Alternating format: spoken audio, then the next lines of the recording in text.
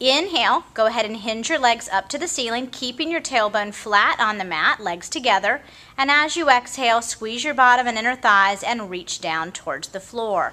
Only go as low as you can that you can keep the back nice and flush on the mat. Take an inhale, reaching to the ceiling, pressing through the heels of the hands there. And as you exhale, inner thighs reaching through the feet as you press down towards the floor. Good. Again, inhale to hinge up to the ceiling. And as you exhale, reaching long and pressing down towards the mat.